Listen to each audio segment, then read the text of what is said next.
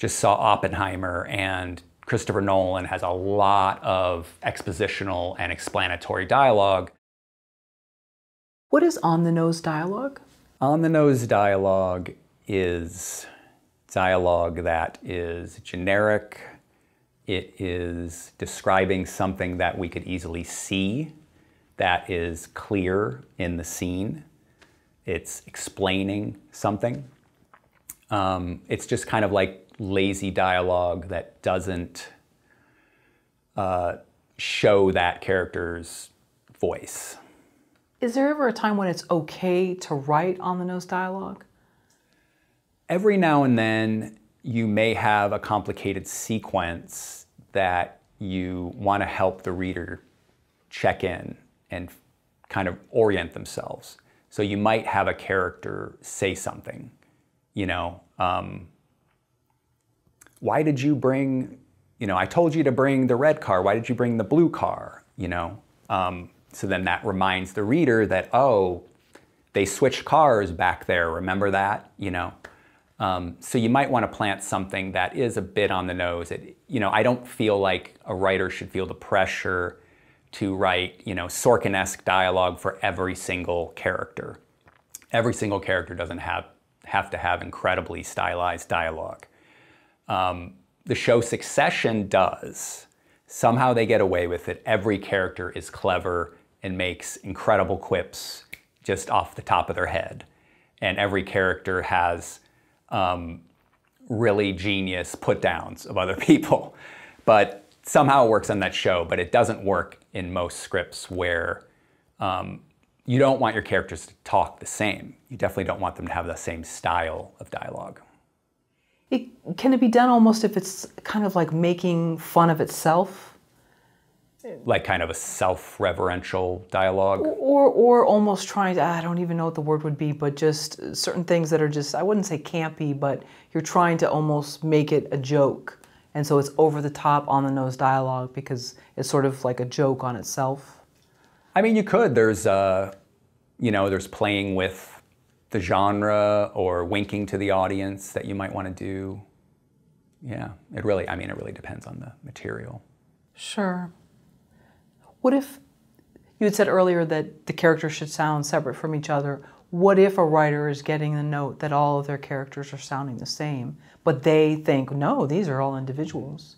I've gotten that note too. It's tough because um, when you read your own work, uh, they seem distinctive, but to other people, sometimes they don't. Uh, you can, it might help to write down backstories for your characters. Um, it helps to read it aloud. It helps to have a reading with friends. Uh, I do readings over Zoom now, so it's really easy to do. Um, and just to hear it spoken out loud, I think does really help.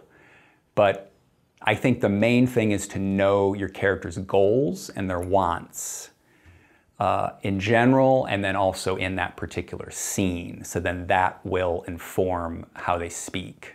You know, if they, if they want this out of that other character, they would talk in this way, you know, because they're trying to maybe sway the other character. Ideally, the audience is in on that too. It knows their wants. That was something that David Mamet always said. He said the only thing an actor needs to know is what they want in the scene, and ideally the audience knows that too.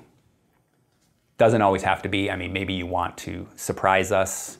Uh, Breaking Bad and Better Call Saul, Vince Gilligan, um, and the writers on those shows, they do a really interesting style of discovery where at the end of each scene comes kind of like the reason why the scene existed. Like it, it's that moment of discovery um, that we didn't see coming, and that that's truly the thing that advances the story.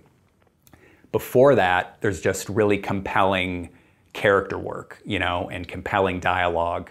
But at the end of the scene, we realize, oh, that's what that's what he meant when he said that earlier, and that's what they were going for. And oh, I didn't see that coming. There's some kind of discovery. You know, that's how Walt is going to get out of this trap. Um, you'll see it if you watch, especially Better Call Saul. There's always that kind of discovery that they build up to in a scene, and it, it's really great work. How does the character's internal and external goal factor into their dialogue?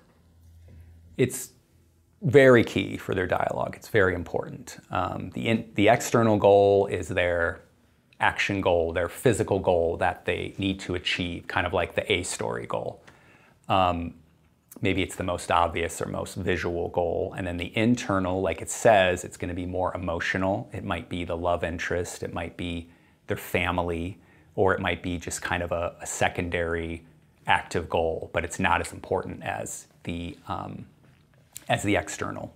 Unless later they flip and maybe the internal becomes more important than the external. If you know your character's external and internal goal, I think it's really going to help you write your dialogue because then you're writing their dialogue to show what they want and to get them actively toward their goal, you know.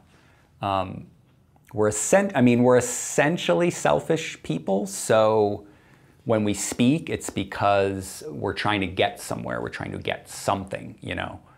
Uh, so it really helps to know their goals. What are your thoughts on monologues and screenplays? Don't make them too long. um, I mean, I think maybe one or two long dialogue passages uh, are okay, but for especially for new writers, you don't want to have super, super long dialogue blocks and too many monologues. Um, just saw Oppenheimer and Christopher Nolan has a lot of expositional and explanatory dialogue, but it makes sense because they're all scientists and they're going back and forth about all of these scientific topics and they're just giving detail after detail.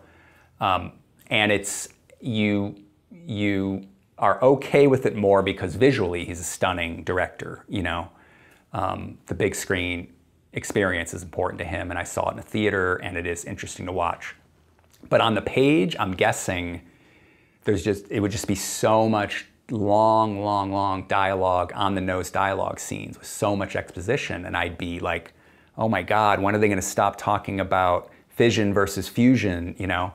So a newer writer who doesn't have that track record, who isn't known for something like Aaron Sorkin might be known for monologues, but you're not. So you really want to um, keep the dialogue as tight as possible. Maybe with uh, you know a few flourishes every now and then. Maybe you do have a key uh, monologue um, once or twice in your script that uh, ideally it captures theme. It explores the theme, what your story's about.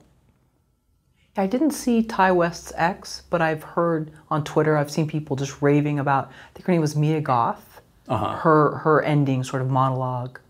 And they just said I, yeah, I fantastic. haven't seen that either. Okay, um, yeah. But I mean, that's tricky to end a movie on a monologue and have it work. That is tough.